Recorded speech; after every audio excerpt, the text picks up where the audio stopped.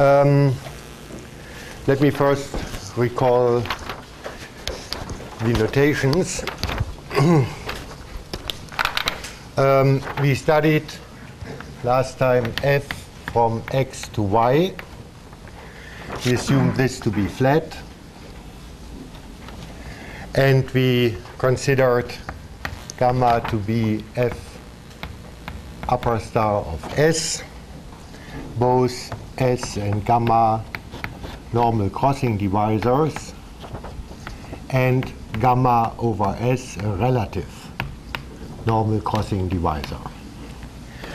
Um, we assumed gamma to be reduced, so we assumed f to be semi-stable.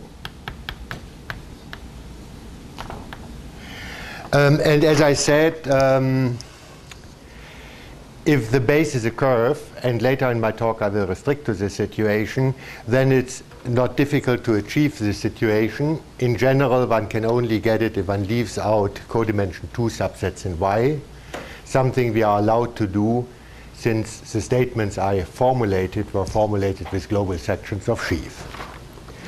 Um, in this situation, we had considered um, something EPQ omega minus 1, a quite horrible notation.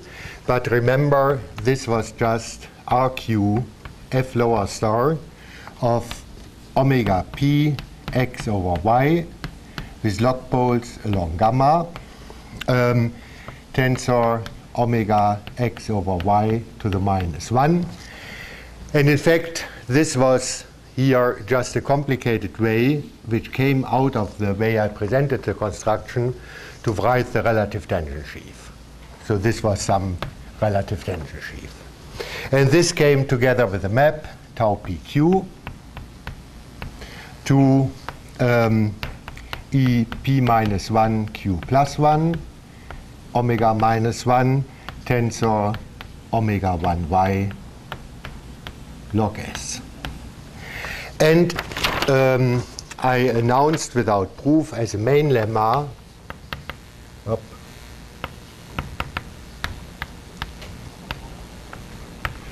um, two facts. One thing is that the kernel of this map dual has a tendency to be weakly positive and um, if f lower star omega x over y uh, to some power is big for some eta, this implies eta bigger 0, of course. This implies that the kernel of tau pq dual is big. Okay, and today I will um, try to explain you a little bit what is behind this um, main lemma. But at the main moment, I want to introduce um, some methods which we will use later for a finer study of families. So the next section now will have the title, the number I think is 4, and the title would be Hodge structures and Simpson's correspondence.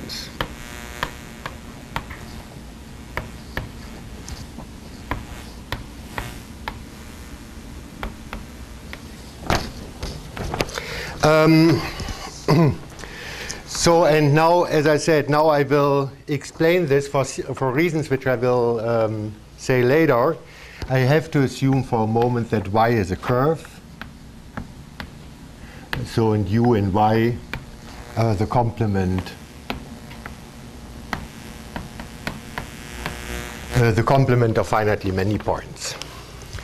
Then uh, let's forget completely about this side of the blackboard, so we restart. Um, in this situation, we can consider a representation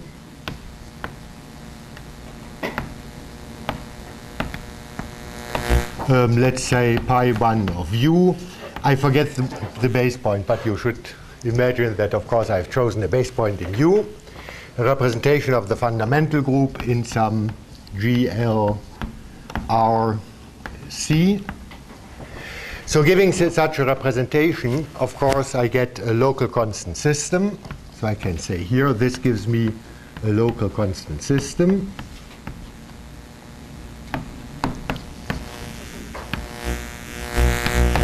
Um, if you like, you can say the local constant system um, is obtained in the standard way by considering, um, for example, the universal cover cross C to the R, and then to divide by the image of this group action. So on this side you have the action of the fundamental group. On this side you have an action via representation. So you can divide by this action in this sense. And what you are getting is some system of CR vector spaces over the base, which is locally trivial in the base. And this is the corresponding local system. So I get a local constant system over, over U, because this here, of course, maps to U as a quotient of U tilde modulo the, um, the action of the fundamental group. Okay, so I have a nice local system, and um, in this situation, the so-called Riemann-Hilbert correspondence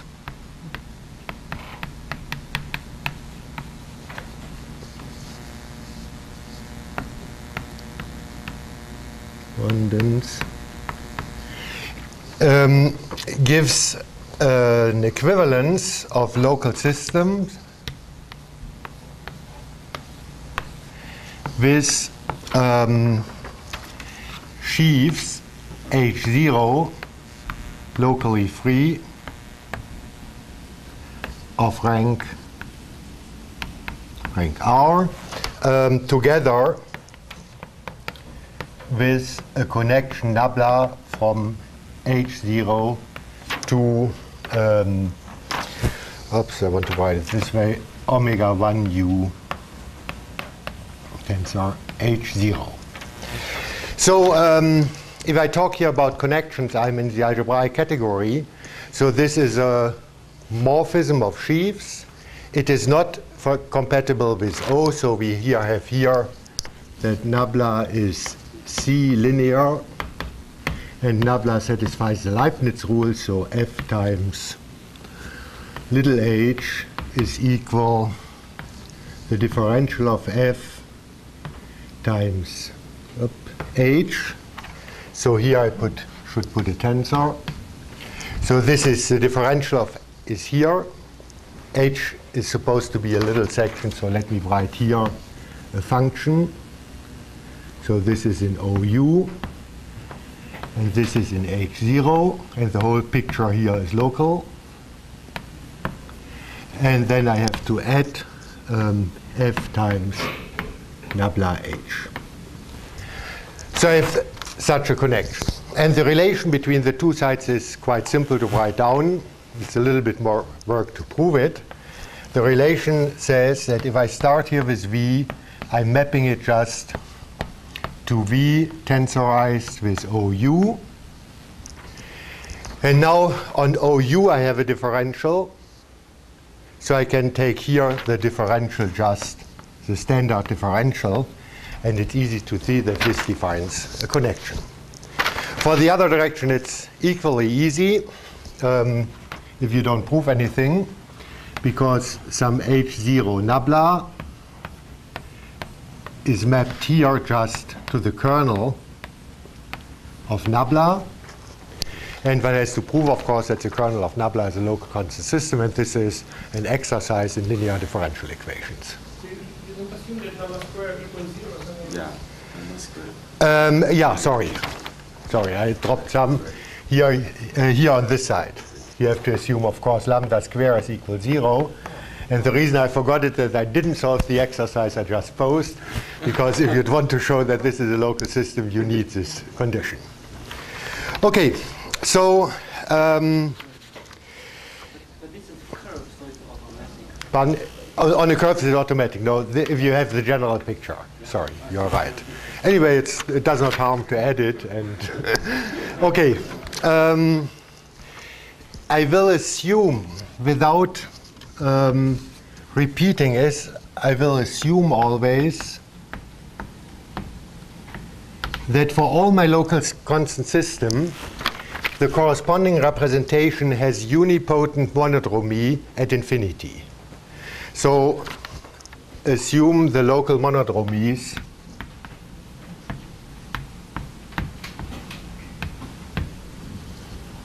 are uh, unipotent. Um, so this means if I take pi 1 of a little disk, so here I have, I take the curve case, so I make the picture over C. So here I have one of the points S and S, so I take a little disk here, and I leave out the point. So I have a map here to pi 1 of u. And here I have my representation that this representation is unipotent. So this is a small technical condition and don't want to say too much about it. Anyway, under this additional assumption, it's easy to write down the so-called Deligne extension. Um, here, this I will.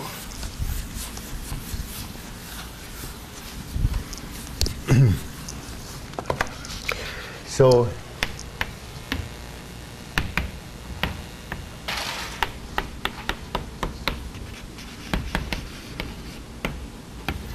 And the Deligne extension um, says that starting with H0 and nabla, there exists a unique extension to Y.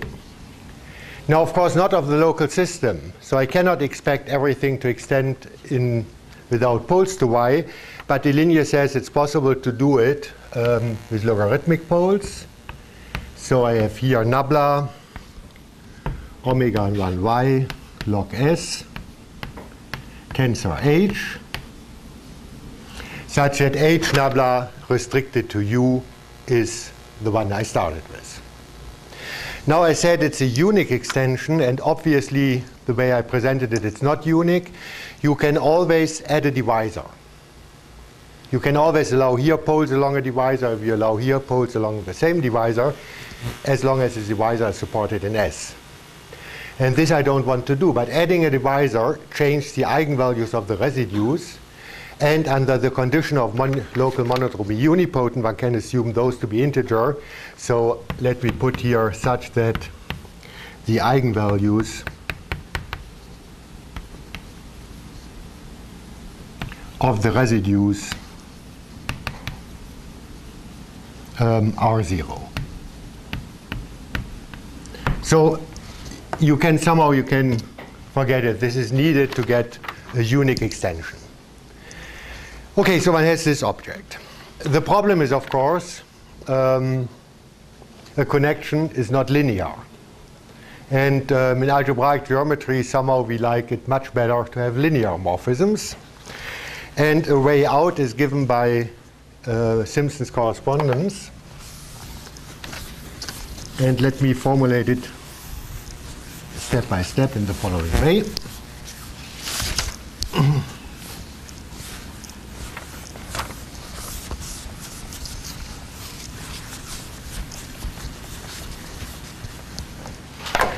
Um, first, I need, need, need a definition. So the first part, I say that f theta I call a logarithmic Higgs bundle. Um, if and only if by definition, if F is a locally free sheaf, and theta just a morphism from F to omega 1 y log S tensor um, F. But now I underline that this is supposed to be OX linear. Okay, so this is a pretty easy definition. So something like this is called a Higgs bundle. And as a next step, I have to explain what is a stable Higgs bundle. I mean, in some sense, um, stable we had already at the blackboard the last day a number of times, so you can give the definition yourself. What does stable mean? Stable means if I take a subbundle, if I take the degree divided by the rank, then this is getting uh, strictly smaller. So now just take the same definition and take sub-Higgs bundles instead of subbundles. So writing it down, it should look like f theta stable um, if and only if, um, by definition, for all g sitting in f with, and now I write down what it means that g is a sub-Higgs bundle.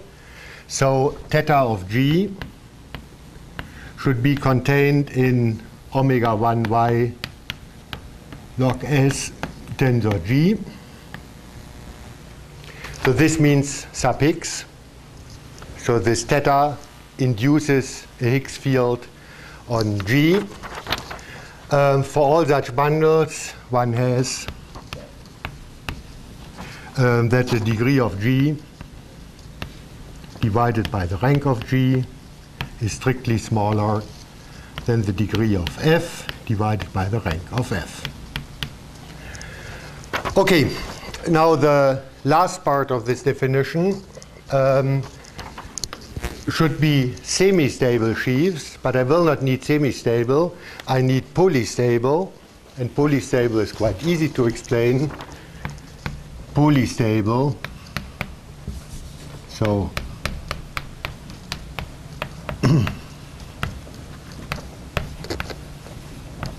this is just the same by definition as a direct sum of stable ones. Okay? So in particular, it's semi-stable, they have all the same degree, but here I should add, of uh, let me write it exact, of fi theta i, and the degree of all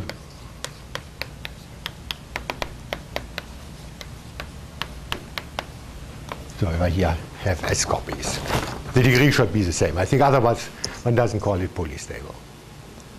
Okay? So it's a special case of semi-stable, but semi-stable will not need, so I don't write it down. Okay, so those are the basic definitions for Higgs field. And the big theorem of Simpson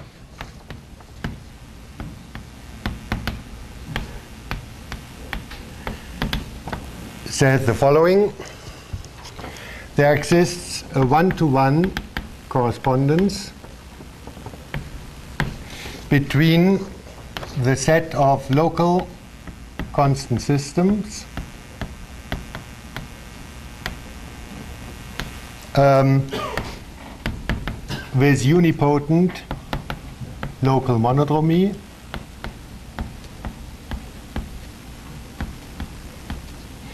um, over U. And this is here in one-to-one -one correspondence to the system of polystable. Hmm? Other questions? Takeshi? Hmm? No, no, just. In the definition, the Fi theta i is stable. Uh, yeah. Thank you. Uh, I wrote it before here. Of course, this is stable. Okay. it's of course not fair to write something, to erase it, and then to assume that it's still there. Okay, so on the other side we have polystable, need a little bit more place. Polystable Higgs bundles.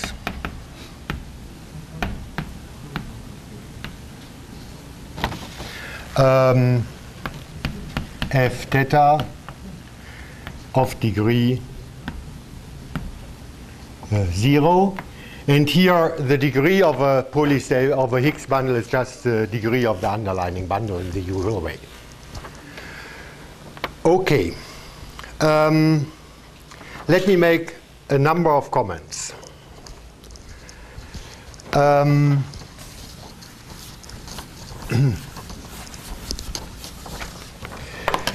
the first comment is that the proof of the theorem is quite hard. It requires a lot of very hard analysis, and I wouldn't be able even to give an idea how to prove it. And to give you two indications that the proof is really hard. Um, the first remark is the way I stated it, it's um, not known for dimension u bigger or equal to except in the compact case if u is equal to y compact. So Simpson proved the theorem over compact varieties and over open curves. But the other cases are missing. And the reason is not, I think everybody in the field believes that it's true, but nobody did the analysis. Okay, behind it. Um, the second thing which shows that um, it's not so easy, if you look to the blackboard, on this side, we started with a local system. Here we have the Deligne extension together with a logarithmic connection, which is not linear. But this, of course, is a nice coherent sheaf, locally free sheaf. On this side, we have another sheaf. We take the same local system here, we are getting here a sheaf together with now an O-linear map. So it's the obvious question, how to go from H to F. And to be honest, I have no idea. It's not at all clear how to bring those both sides together. I mean, I don't know, but this doesn't mean that Simpson doesn't know. But I think it's very complicated, and I think it's absolute. It's definitely, in general, not the same bundle. But in one case, we are lucky. So here, F relation with H is quite mysterious, except in one case. So let me take a special case.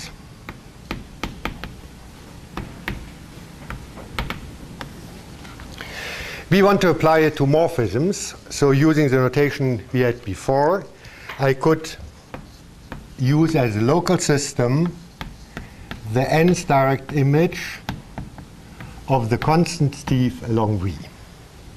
Remember, V to U was the smooth part of my morphism, so this is a local system.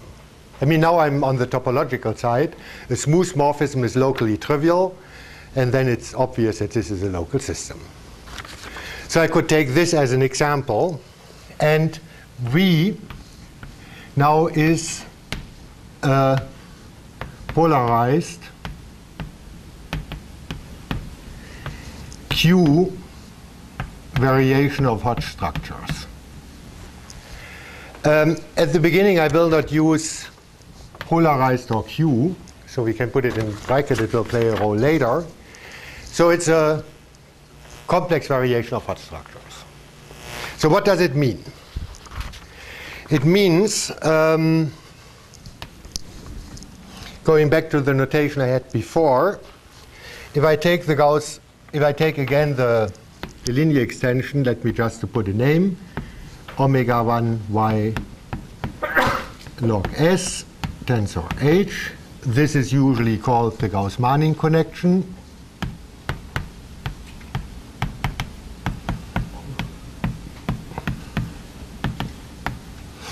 And um, saying that this is a variation of Hodge structure, or complex variation of Hodge structure, is more or less by definition.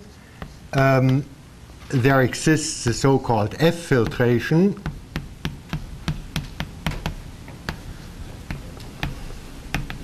At the moment, this F has nothing to do with this F. I'm sorry for this, but it's just called F filtration. The relation will become clearer later.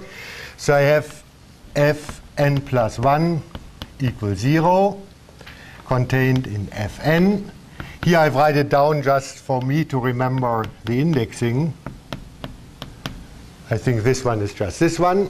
And then it goes up. It's a chain of coherent subsheaf until I arrive at F0, which is H. So writing this down like this, I already plugged in the theorem. Okay? Um, because first, by definition of a variation of Hodge structure, first I have this filtration only on the open set U, and I plugged in a theorem due to Schmid, I think, Griffith, Schmid, Deligne, I don't know exactly who proved this, that this F filtration extends to a nice filtration of the Deligne extension. So there is something. And okay, whenever I have a filtration, then I can consider the graded sheaf. And now, uh, let me write here script F. Otherwise, I have too many Fs. And now I can attach the sheaf F to be the graded sheaf. So it's a direct sum of some Fp n minus p, p equals 0 to n, let's say, where those um, f p n minus b is just my script fb modulo the next one fp plus 1. Okay, so if I have such a filtration, I can take the grading, and again I plug in a theorem which says, or will plug in a theorem, that these sheaves are again locally free. So this is really a grading by vector bundles. Um, so now exceptionally, there's a reason that here is the same letter. I'll come to this in a moment. Um, those sheaves are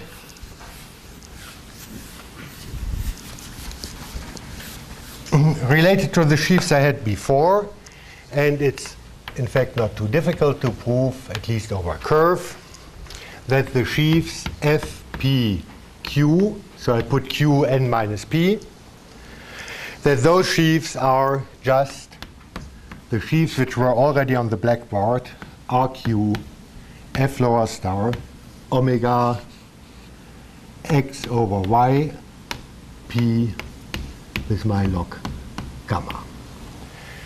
So the Hodge filtration um, is of this form.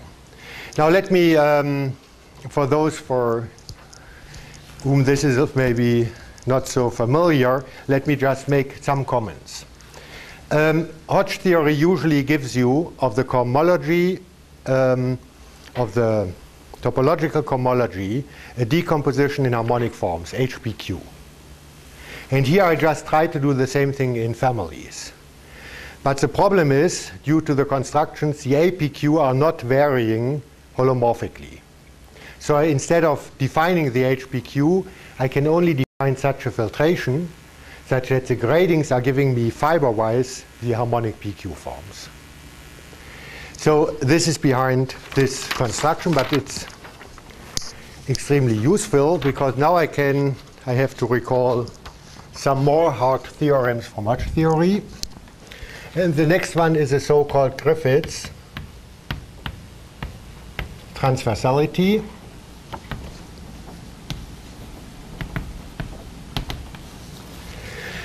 And um, this is the following. I have here nabla from H to omega. Um, I think the blackboard is small. So I start now more or less to write omega instead of omega y log s. Okay? So just to keep the formulas a little bit smaller. So I have here omega tensor h. Here I had my fp. And Griffiths transversality says that I have a little bit of control where this is going to, and it's going to this tensor fp minus 1. So if you look to this filtration, this filtration, the indexing is such that um, fp minus 1 contains fp, but it, it's the next step. And Griffith transversality says it only goes one step up, not more. Um, as a corollary, I, I obtain immediately corollary Nabla induces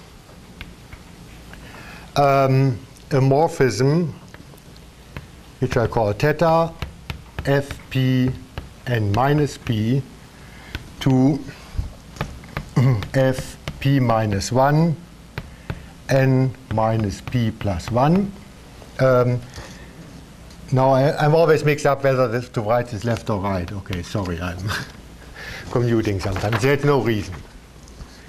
Okay, so it induces such a map. This is obvious. Uh, but, but what is also obvious, because this is just, I mean, from here, from FP, I can go here. Okay. So, but what is also obvious is that this map is linear.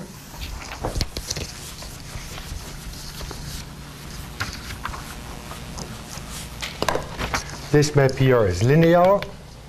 So oh, it's linear. Let me write this down. It's nice to see it once in the life. If I take here f times, no, the function, let's call me L times, oh no, this is even worse, um, phi times E. So this here is a function. This here is in f b n minus b, or oh, let me do it like this. I take a local section here, then I know this is d phi tensor E. This was the first one, but this here lies in omega tensor Fp. And now the rest is some phi nabla of E, and this by Griffiths transversality is at most in P minus 1. So now you see here I'm working modulo this one, so this one is thrown out, and the whole thing is linear. Because the additivity by definition, because I said it's C linear. Okay, so it follows that f theta is a Higgs bundle.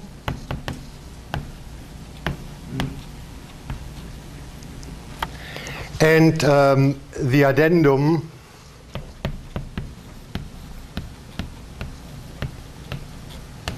to Simpson theorem, also due to Simpson, says that really Rn f lower star of Cv goes to this bundle f theta, which were just constructed. So seen from this side, um, let me indicate what's important about this. It's nice to have two constructions of, the, of this uh, Higgs bundle, but what is, what is important about it is, I mean, this is a local system. So can, I can split it off in the direct sum of irreducible local system, and each of the irreducible system corresponds on this side to a polystable Higgs bundle of degree zero. And the main point here is this word polystable. Let me give you one application which we will use. Um,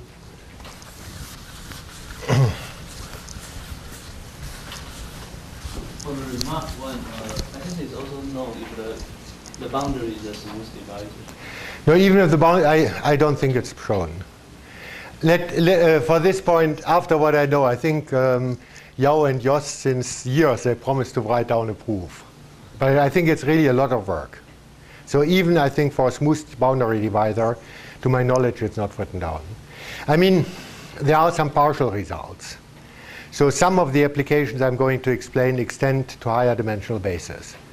But one really has to go, go into Simpson's article and check whether it's really shown.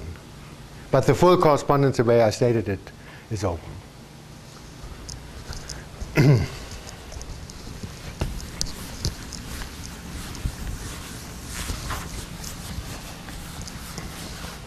so just to show you that this statement is nice, let me say how it is um, related to a second result of Griffiths.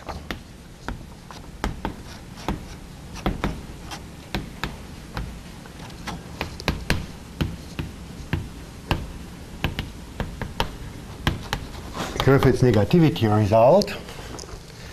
And um, this says if I write K to be the kernel now of theta PQ, now this is going from FPQ to FP minus 1 Q plus 1. Um, tensor omega 1 y, the usual declaration. If this is this kernel, then k dual is uh, numerically effective. Remember, I'm on a curve, so this was the same for the curve as big. Okay, for curves, this coincides. And uh, not big, sorry, weakly positive.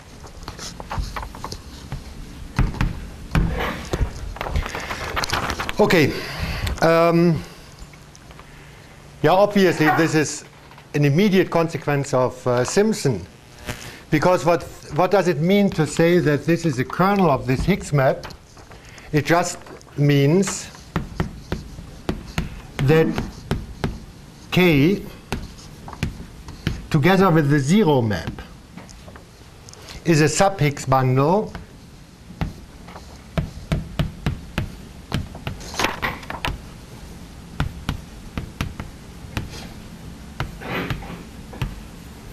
a sub-Higgs bundle.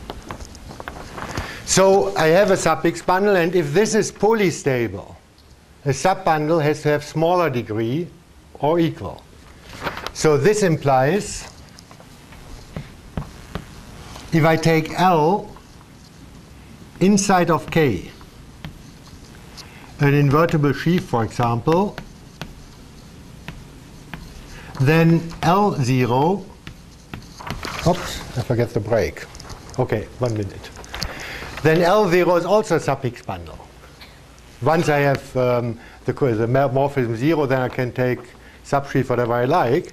So this implies by Simpson, using this word uh, polystable, that the degree of L is negative. Okay? The whole bundle has degree 0 subbundles, either it's a direct sum and then it can have degree 0, or it's not a direct sum and then it has to have strictly negative degree. So this means that all invertible quotients of K dual have degree bigger or equal 0, and this implies NEF. Okay? Now, um, I did two horrible things. Um, the first one is I reversed history. I re reversed history in a very dramatic way because, as Simpson says himself in the introduction to his article, he wanted to understand both things Griffiths transversality and this negativity in a more conceptual language. So those two things were a motivation for Simpson to start working in this direction. At least he claims it. This is the first thing I did. The second thing I'm doing is in some sense even worse. Because, look, I said in the beginning I want to prove something over a higher dimensional base. Then I said, for simplicity, let's assume we have a curve. Okay? Then I presented a result which is only true over curves I took a corollary, but this corollary is also true of a higher dimensional y. And in fact, for the higher dimensional case, I'm using directly this corollary. But I hope you will understand in the second half of the talk why I insisted on Simpson, because the theorem of Simpson has much more applications. Okay, so I will need it for a lot of other applications later. So I think this is a good moment to have a break. So we restart uh, a quarter to, yeah, a quarter to 10.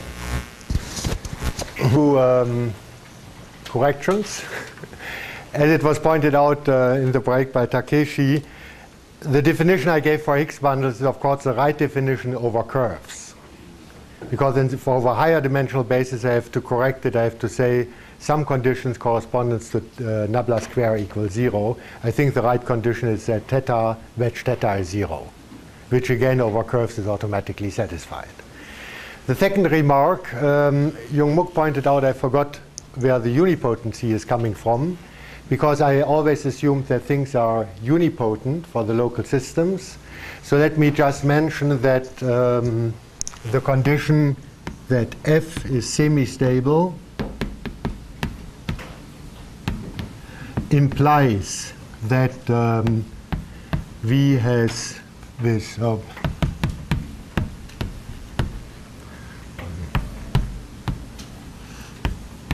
has um, unipotent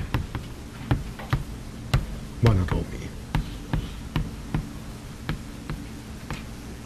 Okay, so the semi-stability was, was hiding exactly this condition.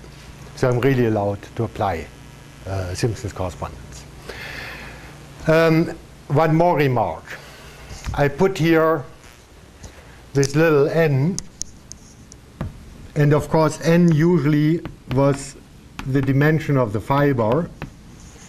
But let me mention that this is not necessary for, for what I said up to now. Okay? It can also be any other number. And in fact, later at one point, I will use it for, k, for n equals 1, although the fiber dimension is higher. Okay? But let me stick to this notation. Okay, so now um, let me come back to this Griffiths transversality. I mean, as I said, this is giving the Higgs field, so the Higgs bundle. Um, this is just this morphism. Let me just mention that, um, or let me just recall our tautological sequences we were working with last time. So I considered very typically um, f upper star omega 1y log s tensor omega something minus 1 x over y log gamma. I consider this as a subsheaf of log gamma going to omega something x over y log gamma to 0. And up to now I considered, now I'm over a curve, so I don't have to correct in the middle. Up to now I use this uh, point by point, but of course I can also write it down as, a, as an exact sequence of complexes. And now if you remember that this here in the middle, oh no, in the middle is here, that this, if I really consider this as a complex, that this is quasi-isomorphic to the constant sheaf on V, um, then you believe, believe perhaps, um, if you believe in a degeneration of a lot of spectral sequences, uh, Hodge-de spectral sequences, that the constant local system I have written here occurs as kernel um, of the cohomology of this complex mapping to the cohomology of this complex. I will not write this down.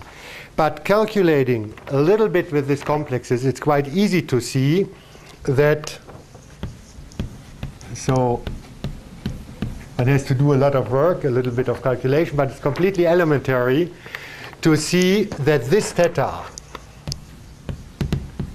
f um, pq to fp minus 1 q plus 1 tensor omega 1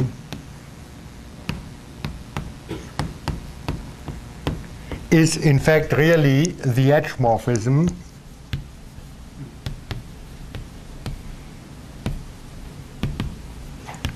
of this exact sequence but now for a fixed value for point equals p. Okay? so it corresponds to what I did last time. So I could say in the language of last time, I had called this here EPQ. And now I put at a lower index, last time I twisted this by some sheaves, like omega to the minus 1. But now there's no twist, so to keep notation straight, I could also call this in this way. So both the morphism and um, the sheaves um, are compatible with the ones I considered last time. Okay, let me indicate very shortly um, how to prove the main lemma using um, the interpretation via Griffiths transversality and in particular Griffiths negativity. Um, this is pretty easy and quite standard. but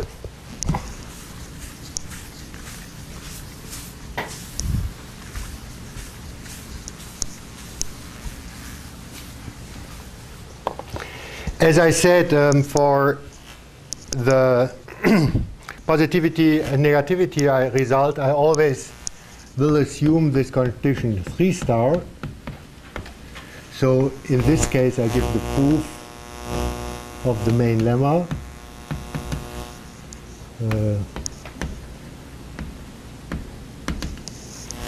and I will recall in a moment what 3 star was really standing for, the moment we need it. Um,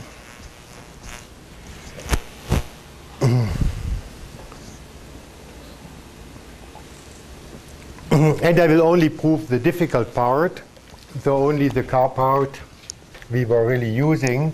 So assume that f lower star omega x over y to the power nu is ample for nu sufficiently large. Um, what does it mean? If I have an ample vector bundle, I can write or I can assume, uh, playing around a little bit with symmetric products and multiplication maps, that omega x over y to the power nu can be written as Ox of some divisor h plus rho times a fiber, where rho is bigger zero. So if this direct image sheaf is ample, then a high symmetric power, uh, power contains O of 1, of O of 1 point, and then I pull this back and come to this situation, at least for some multiple. So now, um, again, I'm proving something about positivity or negativity of sheaves. So I'm always, I'm allowed to replace um, y by any covering.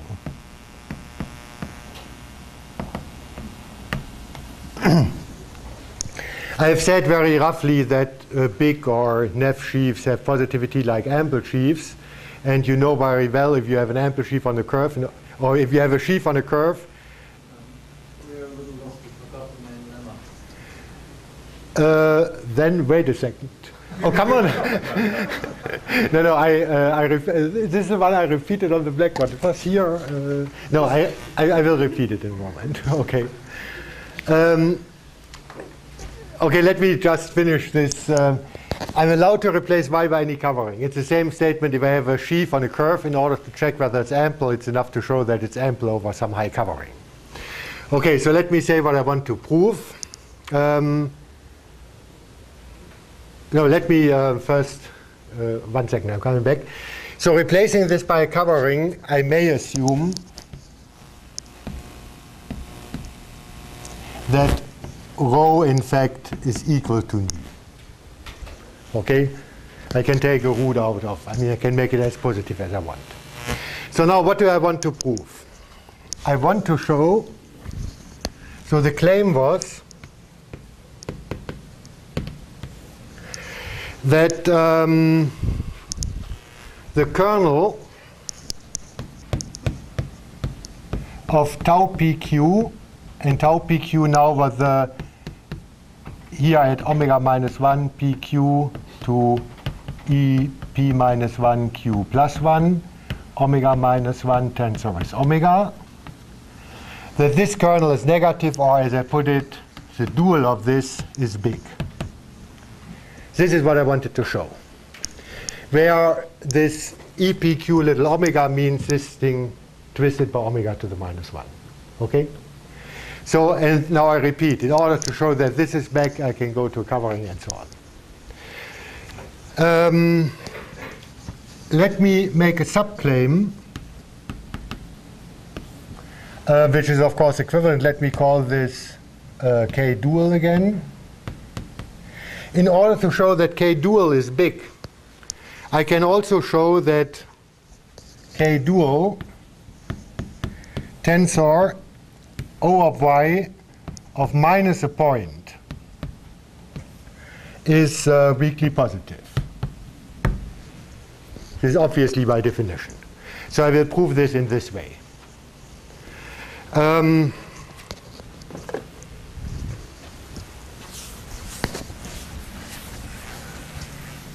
and the method is completely standard now.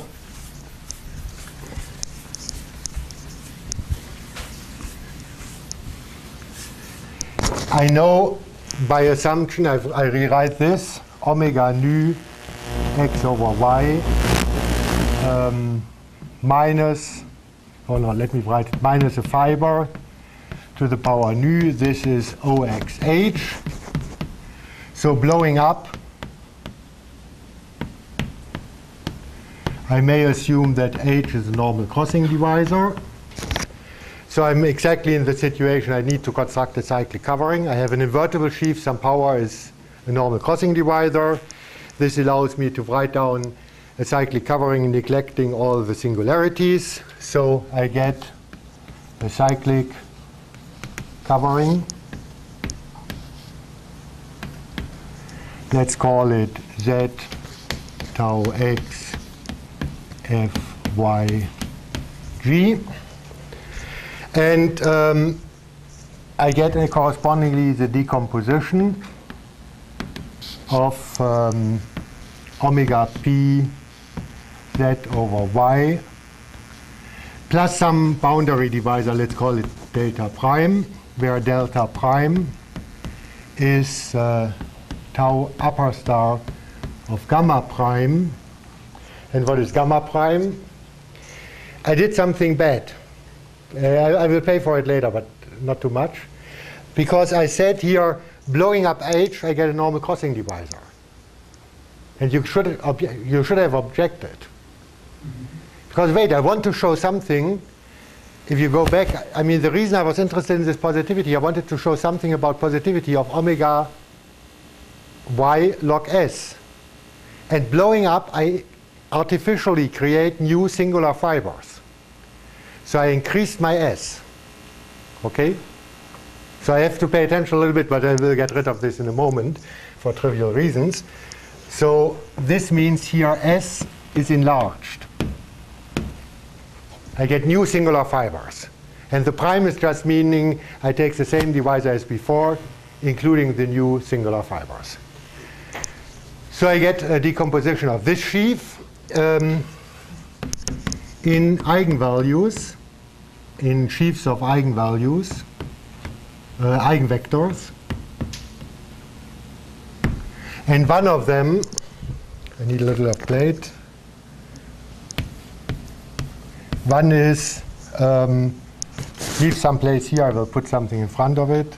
Omega p x over y log gamma prime plus h.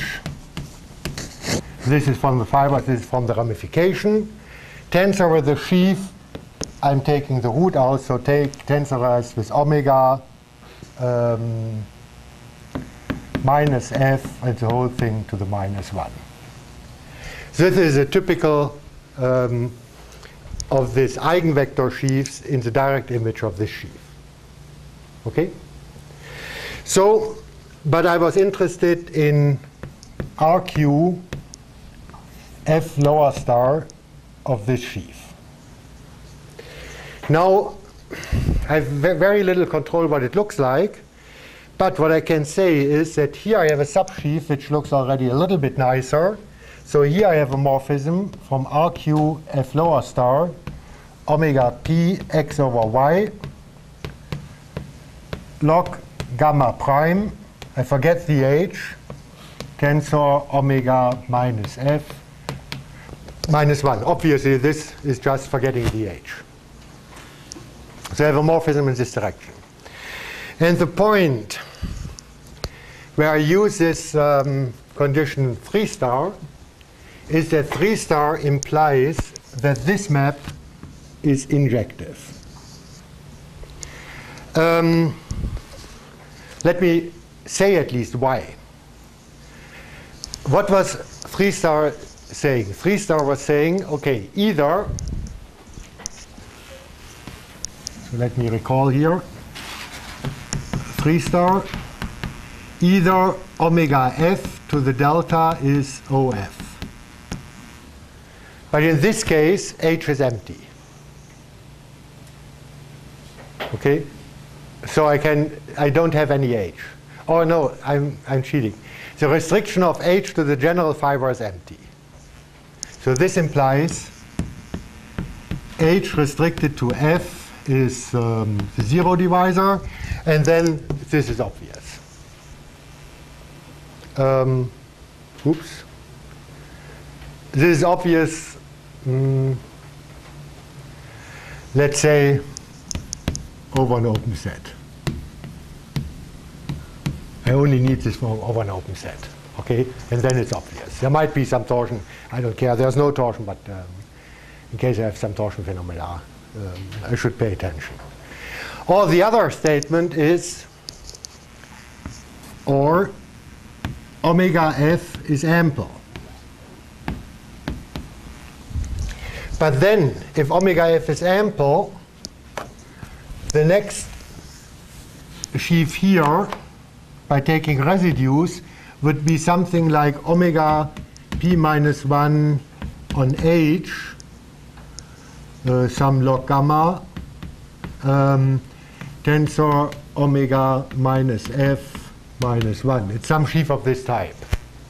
Here I assume for the moment h is non-singular, otherwise I have to filter it. Okay, but those are those sheaves of this type. But now I'm in the situation I have log forms and an anti-ample sheaf.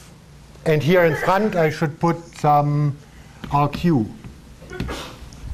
But now the dimension of H went down, and if P plus Q is a dimension, then here I'm below the dimension.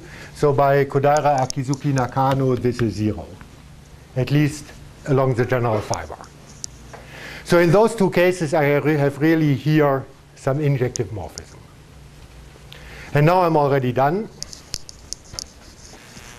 Um, because now I just have to write down a diagram. Mm, where do we have place?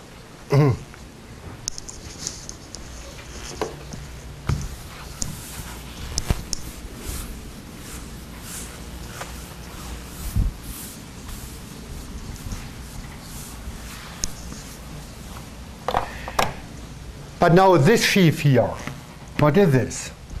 I mean, this is more or less the sheaf we are interested in. Look, here I have the twist with omega to the minus 1, which uh, are required here. The indices are right. Only I have this additional minus f, minus f minus 1, so give you a plus f. So this is just O of a point tensorized with EPQ omega minus 1. So at least this one is the right sheaf. But uh, now all, since all my morphisms, um, Higgs bundles and so on, are coming from exact sequences, um, I don't care if I put here a little p. So the edge morphisms are also right and they're all compatible. But now I have a diagram OY of p tensor E omega minus 1 PQ. Here I have my morphism E P minus 1 Q plus 1 omega minus 1 tensor omega 1 Y log S. Wait a moment, I've blown up. So I said I have to pay attention with S, but now here, nevertheless, I can still write S because the sheaves I'm considering here are compatible with up, blowing ups. So blowing ups, I don't introduce new, I introduce new bed fibers, but for this connecting morphisms, I can uh, just suppress them. Now here I have an injective map into this stuff, but here I said this is part of a decomposition of this one. So putting this together, I come here to some sheaf E, and here to make clear, I should write a large OZ. So here I'm really on Z. Same thing, PQ, going to E OZ, P minus 1, Q plus 1. And here now I have to make omega Y log Z prime, because here I'm really seeing the new bed fibers. But who cares? I mean, this is injective. So I want to have the kernel of this map. But now it's, it's not this one, it's um, identity on the point, tensor tau pq. I want to say something about the kernel of this map, but the kernel of this map is going to the kernel of this map. But this here was exactly the situation I had before. This is what I called FPQ. This was my Higgs field, now on Z. And here I had my theta PQ to FPQ Z tensor um, indices shifted tensor omega yy log S prime. So I see the kernel of this here is a subsheaf of the kernel of this one. But then I'm done. Because if I go to the other side of the blackboard, up,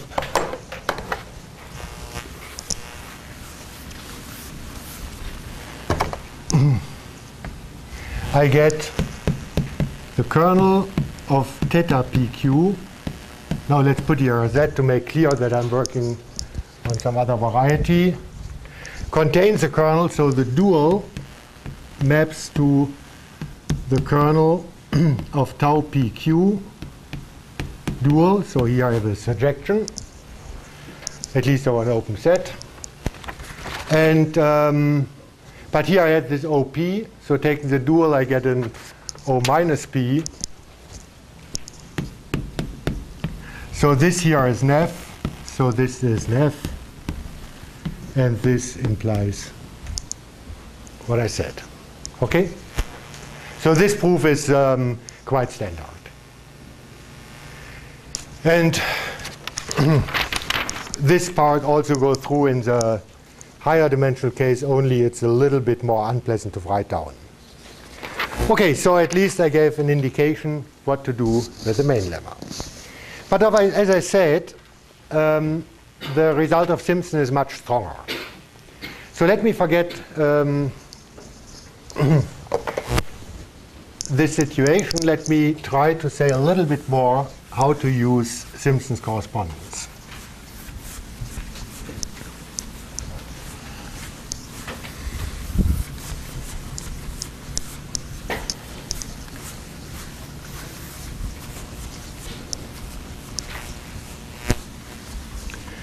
So, um,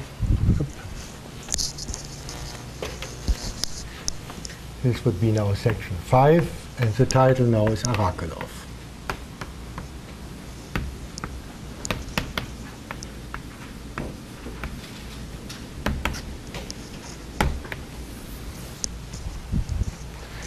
Of course, again, this is a little bit uh, twisting of history because Arakelov was a um, long time before Simpson but um, I will explain in the moment why I took this title. Um, so just so we have again y is a curve, and I consider um, now v to be any um, C variation of Hodge structures um, the way I explained it before. I don't need at the moment that it's coming from some things, but um, here over U and unipotent local, mono local monodromy.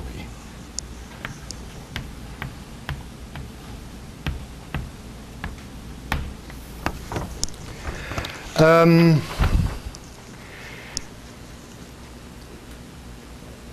I will use a little bit more. I think in this chapter it's convenient to use also the real structure. So um, stronger. Um, v is in fact defined over R, over the real numbers. Um, so in other terms, you have a local system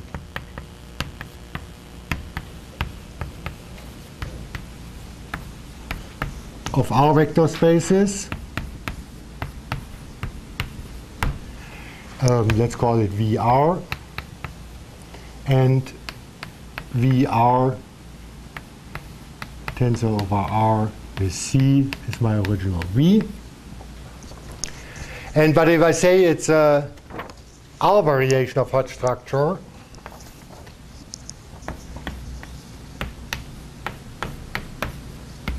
then this includes that at least fiber-wise, the HPQs are compatible with complex conjugations. So it means that the FPQ bar are FQP. Um, and I will assume that it's polarized. So now I'm already getting closer. In fact, I'm interested in Q variations of Hodge structures which are polarized. So um, it's reasonable first to go to this point. Um, the next assumption will be um, assume in addition that um, f n0 using the notation I had in the last chapter.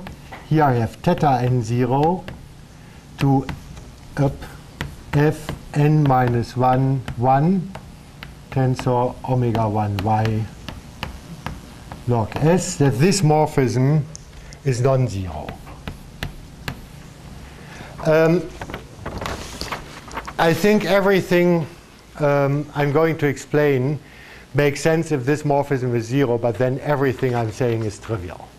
Okay?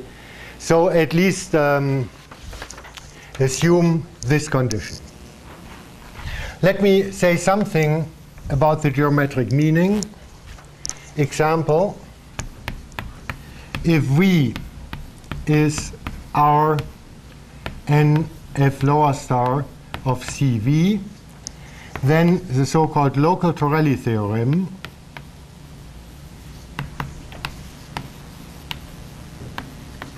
for a general fiber F implies the assumption.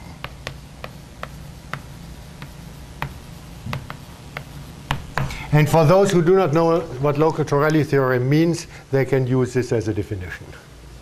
Okay, it's more or less by definition the local Torelli theorem.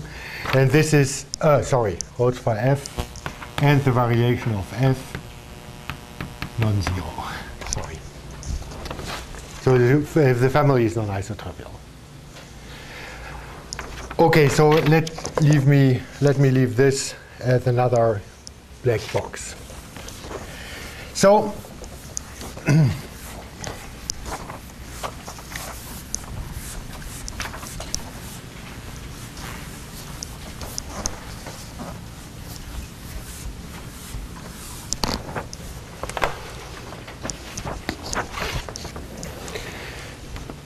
So the first claim is that under this assumption, so proposition, um,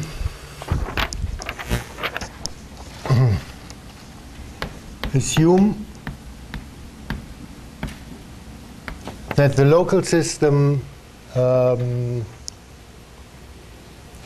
VR or V is irreducible. What does irreducible mean? Irreducible means it's not the direct sum of local subsystems. But now I say irreducible as polarized R variation of Hodge structures.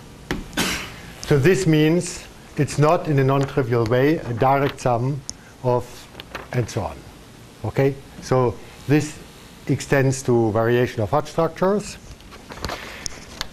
And then the result is, which in fact in this form I think is due to Kollár, that f n0 is in fact ample. Remember, we are working over a curve. Um, now, this is again a pretty easy corollary of uh, Simpson's result. Of course, again, Kollár didn't use Simpson, he was using Griffiths. Let me, for the last five minutes, try to give a proof of this. Um, otherwise, we would have, if it is not ample, then we can find a quotient bundle L, which is invertible, and the degree of L is smaller or equal zero. Okay, so if a vector bundle on a curve is not ample, I can always find an invertible quotient, like this. Um, so let me dualize it. Equivalently, there exists L dual sitting inside in F0n, and the degree of this sheaf is bigger or equal zero. Here, if I say dualizing, here I'm using the R structure and the polarization. Because what does it mean dualizing? I mean, if I write down the dual I could take the complex conjugate or I can use a polarization. The polarization is a non-degenerated form which in particular pairs those two. So at this point I'm using the polarization. So I have something like this. Hmm? The degree now, uh, sorry, went the other way around, otherwise it would be too easy. um, Okay, so I have this. So I have a positive subsheaf. But then wait a moment. My Higgs field. What is the Higgs field doing here? Here I am at the end of the table. So the Higgs field here is going to zero because there's nothing here. Okay? So automatically, L dual together with the zero map sitting inside the direct sum of the FPQ together with my Higgs field is a sub-Higgs bundle.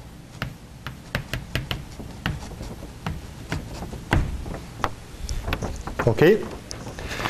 So I apply the big black box called Simpson's uh, correspondence, and I get that first of all, the degree of L dual must be negative. Here it's positive, so it's zero. And secondly, L dual zero splits. Now I have to pay what I said about our polarization, uh, our variation of Hodge structures. But using this, and again the polarization, um, this implies that in fact L, direct sum L dual, 0 also splits. And now I have a Higgs bundle which has a polarization. L, L plus L dual obviously has a quadratic form.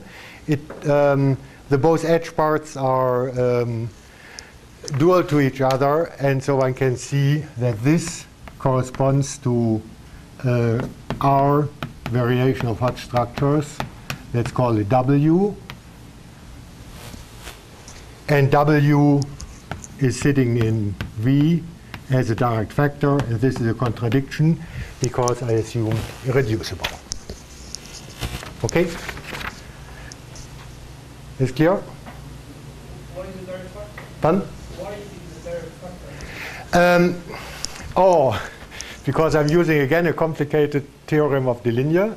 Sorry, that's a very good question, you see, uh, which I didn't say because I forgot. Um, I mean, for a local constant system, I have semi-simplicity. So if I have a sublocal system automatically it splits. The same is true for variations of Hodge structures uh, due to the theorem de semi-simplicité uh, of Deligne in Hodge 2. Okay? So whenever I have a um, subvariation of Hodge structure, over what field ever it's defined, it automatically splits. And this I will use all the time. Okay? Okay, after this addendum, I think it's time to stop.